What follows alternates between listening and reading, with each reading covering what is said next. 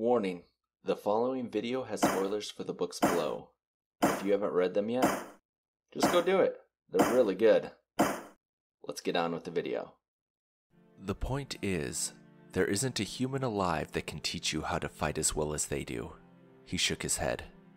The way you learn how to kill someone is to have them teach you. You learn how they fight, discover their strengths and weaknesses, uncover their secrets, and never let them see yours. You want to learn to kill Fhrey? You learn from them. From these simple words would grow the greatest human fighting organization in the history of Elan, the Teshlor Guild. In today's video, we're going to cover everything that we know about the Teshlor Knights, including what the seven disciplines of the Teshlor actually are. Let's get started. Tesh takes Raithe's words to heart and learns everything he can from the Galantians. I have been watching them, going to the practices, seeing what they do. They have different fighting styles. Did you know that? Each of them is a master in a different skill. If I join the practice sessions, let them teach me, I could learn each of the different techniques. When the Galantians start passing on their fighting knowledge to humans, it doesn't take long for Tesh to rise through the ranks and become the best. All the exercise and ample food had turned the one time cadaverous whelp into a lean, muscular lad. Still lanky, still not as tall as he would likely one day be. Tesh was already well on his way toward his goal of mastering the disciplines of the Galantians. This fact is heightened by Sebek when he gives Tesh his namesake nickname. After a few additional short lived instructions and humiliation, Sebek became intrigued at the suicidal toddler who learned from his mistakes. When Tesh deflected an attack with a bare palm, Sebek stopped calling him stupid. He even stopped calling him kid. Tesh's new name was Techylor, Swift Hand. From there, Tesh would go on to master all the styles of the Galantians and form the Harwood Techlors. And though Tesh would die before the end of the series, his legacy and fighting knowledge would live on through the troops he trained. Those who fought in Tesh's legion were trained in all of the seven disciplines he'd adapted from the Galantians. The process was considered ridiculous by many, too long, too demanding, and definitely too extreme. Most of his men failed to complete their full apprenticeship. Over the last five years, only Brigham Killian had achieved what Tesh considered competence in all the disciplines. But those that had at least some proficiency in each were admitted to his elite squadron, the Harwood Techlors. So this brings into question as to what the seven disciplines actually are. Well, we know that they are based off of Nyphron's Galantians, so we can bring in the Galantian list from last week's video. The discipline that we hear the most about in Sullivan's writings is the Tekchin. This is the art learned by the Pickering family that makes them such formidable swordsmen. No one would dare challenge a Pickering. They have a legendary family tradition with swords. Rumor has it that Cedric learned the ancient art of Tekchin from the last living member of the Knights of the Order of the Fallen. As a side note, the Order of the Fallen was an order of knights that preserved the disciplines of the Teshlor Knights after the fall of the Empire.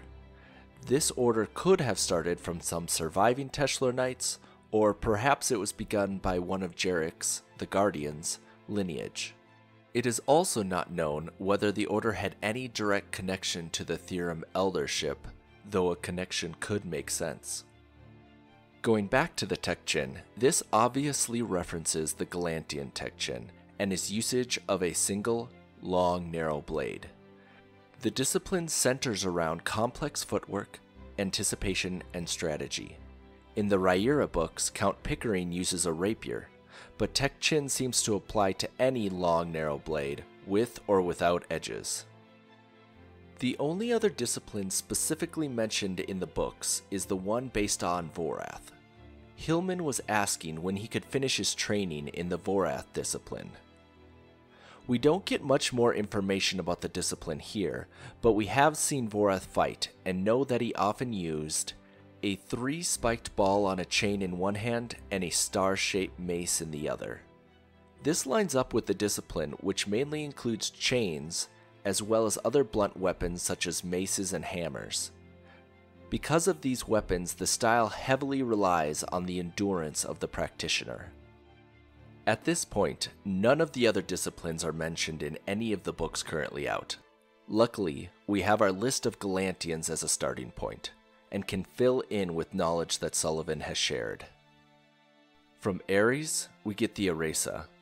This revolves around pole weapons such as javelins, spears, and pole arms. Balance is core to the style. This discipline most likely is the one that encompassed the Ula Davar, which is the double bladed quarterstaff used during the Uli Vermar duels. This would explain how Hadrian would have known how to use it, even without ever seeing one. Next, we have Medak, and the discipline of Medaka. Medaka focuses on short blades, such as knives and daggers, and relies heavily on speed. It is interesting to note that Medak actually died before Tesh began his training. In fact, Tesh never even met Medak, which means Tesh must have learned Medaka from the other Galantians, which begs the question as to whether this would have been one of the weaker disciplines for Tesh and eventually the Teshlor. It is also fun to hypothesize how Royce would be compared to Medak, or someone trained in Medaka. The next Galantian on our list is Anatole, but he died long, long before Tesh was even born, and therefore did not inspire a discipline. In fact, we don't even know what his weapon specialty was. Then we get to the infamous Sebek. It should be no surprise that the discipline of Sebeka focuses on dual short swords. This aggressive style includes disarming techniques as well as using bare hands to block blades. It relies on speed, anticipation, and confidence. This is most likely the style that Hadrian often uses when he dual wields his bastard sword and short sword. Then we have the Grenmorian Grygor. His discipline is the Gorian Gar, which focuses on the use of a large two handed sword. It should be no surprise that this style's most important attribute is strength, and it appears that this may have been Hadrian's second most used style, as it is what he used when he wields his spadone. Finally, the last discipline is the anwire, inspired by Anwir. This technique uses coils such as whips, ropes, slings, nets, and snares, and it relies on misdirection and confusion, as well as the patience of its practitioner. Together, these seven disciplines would later be known as the Tesh and make up the core of a Teshlor Knight's training.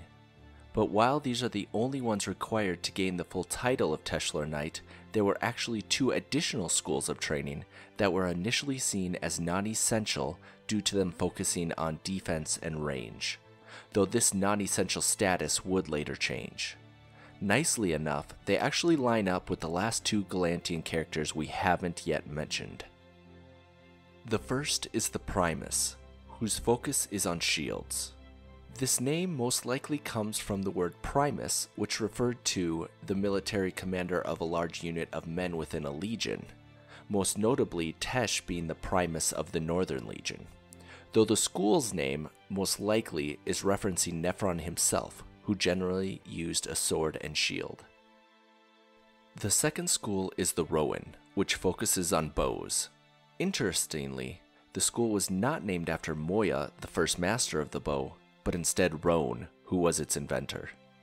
Together, these two schools would form the Lore, calling back to that original Techylor nickname, combining to form the full Teshlor name.